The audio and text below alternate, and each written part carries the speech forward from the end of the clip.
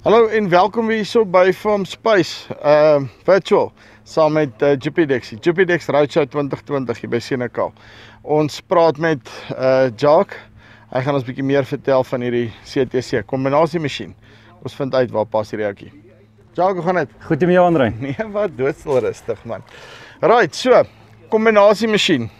Verduidelik my gou waar pas hierdie ding in my boerdery en hoekom gaan ek vir 'n ripper dis kombinasie besigheid sommer saam? Ek dink net op die stadium ehm um, in ons landbou raak ons vensterperiode net baie kleiner om jou lande gewerk te kry en en en die saad in die grond te kry. En en dis waar die implement vir ons baie werd is. Wat snaam jy doen alles in een en uh die planter kan sommer reg na hom loop. Nou sê vir my ehm um, kilowatte gewys, wat het ek nodig op hierdie ouetjie want hy lyk of hy 'n bietjie 'n paar perkrag Dis jou CTC 427. Uh jy kort daar so enigiets tussen 220 en 250 kW om hom te trek. Om hom te trek en alles, ja. So ek het daar 'n dik trekker nodig. Ja ja. Nee, wat snaam, dis die een soos wat ons hier vooraan moet het. ja, want wat het ons hierso 'n uh, 820, 320 per. Ja, ja. nee, dit is genoeg. Right, so verduidelik my, kom ons begin sommer gou hier by die beginpunt. Ehm um, sy hierdie eerste skotteltjies Eerste skorrels, die implement kom in vier seksies. Eerste skorreltjies is snyskorrels wat ons op het. Hulle is so 18 duim, gee so 450 mm uh wat sy sy sy grootte is en alles. Dan gaan ons na drie rye ehm um, tande toe en dan is dit ons ons ehm uh, meng mengskorrels in die agterkant en dan 'n lekker groot roller ook. Ons uh, gebruik hierso die CTC tand wat snaam wat ons praat van die lewendige tand. Hy uh, beweeg na die kante toe 150 mm en alles. Uh sy springpak op die stadium uh breek weg op. So okay, hang vas, hang vas. Jy moet nou mooi verduidelik. So hy beweeg kante so, toe. Ook. So hy vibreer eintlik in die grond net. Ek, ons praat vibreer maar maak so. Hy wat snaam hy vibreer in die grond so ons praat van 'n van 'n holtand en hy's lewendig. So hy beweeg in die grond. 150 mm na 'n kant toe kan hy ja, beweeg. Dan kry hy randomized maak alles los. Hy daarvan. Ek het dit nie geweet nie. Hy hy maak lekker los en alles. En dan verduidelik my hieronder.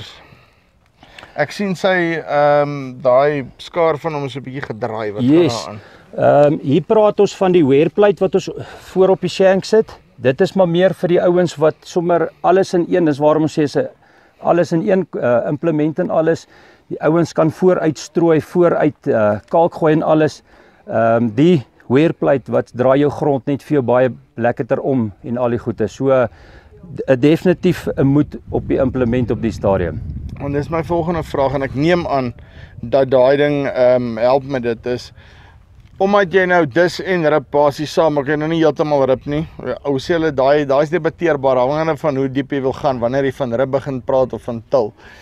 Maar jy kan nie so vinnig met hierdie implement deur die grond gaan soos wat jy byvoorbeeld kom hier staan nie uh ehm um, aan 'n ene hoeke langs hom nie soos wat jy met hierdie uh ehm um, compact disc arrow kan deurgaan nie.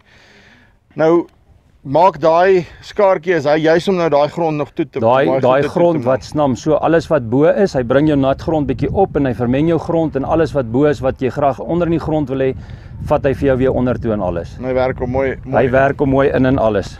En dan ehm um, sê vir my die agterste skottels wat waarvoor um, wat dit, dit is nou maar net om jou grond weer mooi wat snam te vermeng en alles, laat jou droë grond en jou nat grond lekker vermeng en al die goede.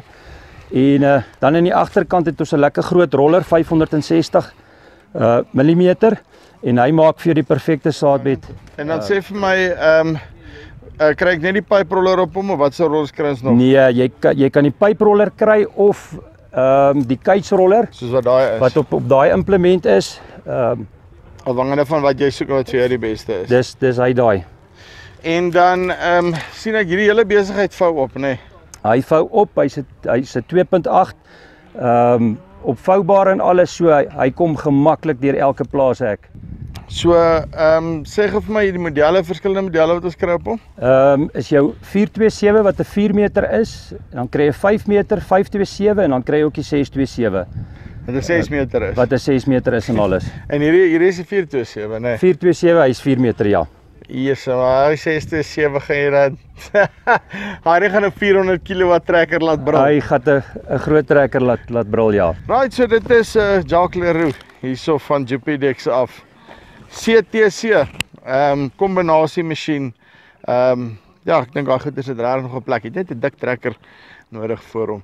So, dit is hierso van uh, Senekal af op die Jupidex Ride Show.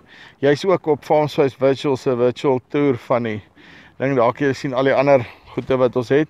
So gaan hier, daar klik die link hier bo of hier onder Farmswise Virtual gaan sien toe gaan volg die tour, gaan loop paar deur. Baie baie awesome. Sien van Farmswise af tot volgende keer. Groete.